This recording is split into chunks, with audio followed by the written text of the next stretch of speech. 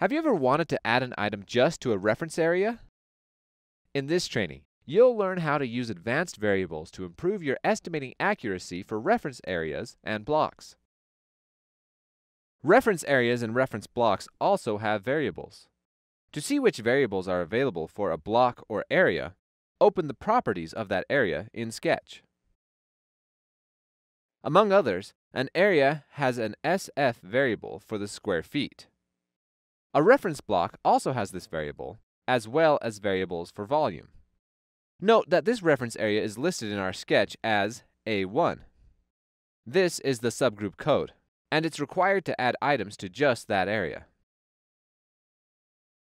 To use these variables, go to the Estimate Items tab and add the desired item to the correct room. Select the item from the items list to populate the quick entry pane. Click on the Calculator button to see a list of available areas or blocks. To clean vinyl flooring only on the reference area, the calculation would be SFA1. Remember, the variable has to be one of the variables available to the area or block. And that's it.